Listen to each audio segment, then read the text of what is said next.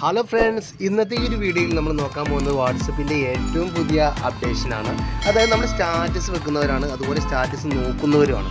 Status ചില ഫോട്ടോസിലൊക്കെ നമ്മൾ നോക്കാൻ വേണ്ടി കുറച്ച് നേരം സ്റ്റിൽ ചെയ്ത് നിൽക്കാൻ വേണ്ടിയിട്ട് പൗസ് ചെയ്യാൻ വേണ്ടിയിട്ട് നമ്മൾ അതിലൊരു വിരൽ കൊണ്ട് ഇങ്ങനെ പഴയതുപോലെ ടച്ച് ചെയ്ത് പിടിക്കാറാണ് പഴയത് എന്നാൽ വാട്സപ്പിന്റെ ഏറ്റവും പുതിയ അപ്ഡേഷൻ എന്ന് പറയുന്നത് നമ്മളിപ്പോൾ ഒരു ഫോട്ടോ ഓപ്പൺ ചെയ്ത് നോക്കിക്കഴിഞ്ഞാൽ ഇങ്ങനെ ഓപ്പൺ ചെയ്ത് കഴിഞ്ഞാൽ നമ്മൾ ഈ മൂന്ന് വിരൽ കൊണ്ട് നമ്മുടെ സ്ക്രീനിലൊന്ന് ടച്ച് ചെയ്താൽ മതി. അപ്പോൾ ആ ഫോട്ടോ അവിടെ സ്റ്റില്ലായി നിൽക്കുന്നത് കാണാം. അതുപോലെ ഇനി വീഡിയോ ആണെന്നുണ്ടെങ്കിൽ നമ്മളത് സ്റ്റില്ലാക്കി വെക്കണമെന്നുണ്ടെങ്കിൽ നമ്മൾ മൂന്ന് ഫിംഗർ കൊണ്ട് നമ്മുടെ സ്ക്രീനിൽ ഒന്ന് ടച്ച് ചെയ്ത് നോക്കുക.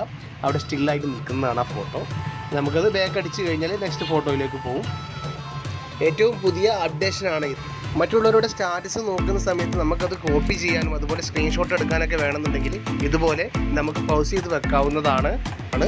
ഇനി നിങ്ങൾക്ക് ഈ ഒരു അപ്ഡേഷൻ കിട്ടിയിട്ടില്ല എങ്കിൽ നിങ്ങൾ തീർച്ചയായിട്ടും നിങ്ങളുടെ പ്ലേ സ്റ്റോറിൽ പോവുക. നിങ്ങളുടെ വാട്സപ്പ് നിങ്ങൾക്ക് എന്ത് ചെയ്യാം? അപ്ഡേഷൻ അല്ലെങ്കിൽ നോക്കുക. അല്ലെങ്കിൽ ഇതിൽ അപ്ഡേറ്റ് ചെയ്യുക. ഈ ഒരു അപ്ഡേഷൻ നിങ്ങൾക്ക് കിട്ടുന്നതാണ്. അപ്പോൾ എല്ലാവരും ഒന്ന് ട്രൈ ചെയ്ത് നോക്കുക. പൊളിയല്ലേ? താങ്ക് യു അടുത്തൊരു വീഡിയോ ആയിട്ട് കാണാം. ബൈ